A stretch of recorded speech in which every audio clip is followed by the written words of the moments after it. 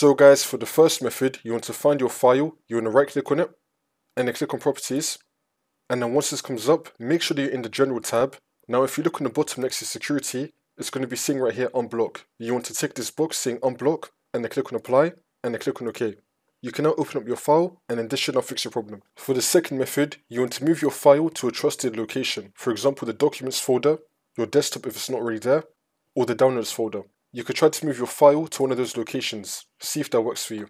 For the third method, if you're getting this problem with an Office file, for example Excel, Word or PowerPoint file, then you want to head over to search and type in add remove programs. Click on it. And then once you're on this, you're going to scroll down till we find Microsoft Office. You're going to click on the three dots and then click on modify and then click on yes. And then once this comes up, you're going to try doing a quick repair first. Click on repair, see if that works for you. If not, then you're going to select online repair. Click on repair, see if that works for you. Now hopefully one of these methods would have fixed your problem.